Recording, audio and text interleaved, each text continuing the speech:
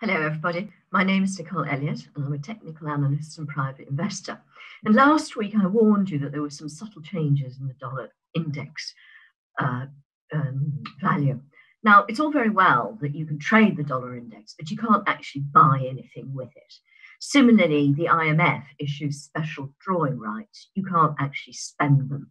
Um, but the US dollar, you can spend. The dollar itself, but by itself, it's always va- its value is always calculated versus another currency or a commodity or whatever.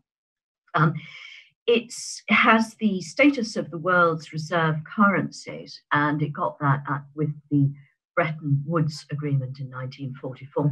And this gives it several very, very big advantages in terms of trade, in terms of issuing debt, um, in terms of corporate business.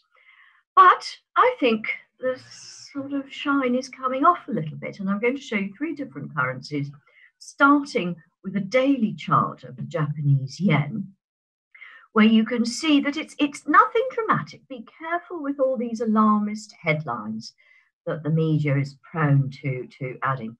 But what we've got here, this daily chart of the yen, um, which you can see has come down in, well, three legs really since uh, March. The first one was a biggish one with a decent pullback. Now in June, we've had a sort of four yen drop.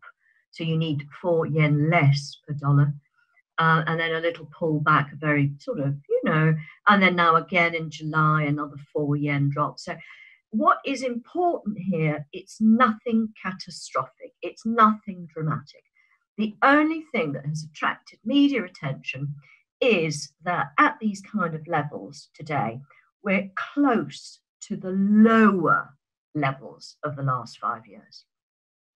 And the lower level of the last five years creates a right angle triangle. If you have access to charts, or maybe next week I'll show you the big chart, um, but it's a huge right angle triangle with a flat bottom at the psychological level of 100 yen. Now, implied volatility is subdued because the yen is seen as a safe haven currency like the Swiss franc. Puts on the dollar against the yen are always more expensive, but they're not in, in, in silly, silly. It's all very steady as she goes here, okay? Um, but I would expect a test of that 100 yen level. My second chart is a weekly one of the British pound against the US dollar. In FX terms, it's called cable because it was the first transatlantic cable between London and New York to be laid specifically to uh, deal uh, uh, in foreign exchange and in stocks. And as you can see here, cable has dragged itself up off some of its cheapest levels ever since currencies were floated. It's retraced half of the losses of the last two years. So, okay, better than nothing, I suppose. Hopefully, the moving averages have turned bullish uh, as the, cloud, the candles have been sort of moving slowly but steadily higher in small steps um, over the last five weeks. And this week, hopefully, we'll close above the top of that descending Ichimoku cloud. And my final chart is that of the eurodollar. It looks very much, it's also a weekly one, looks very much like the cable one, perhaps a little bit more dynamic in that the downtrend was steadier. And so now the uptrend looks, in contrast, a little bit more exciting.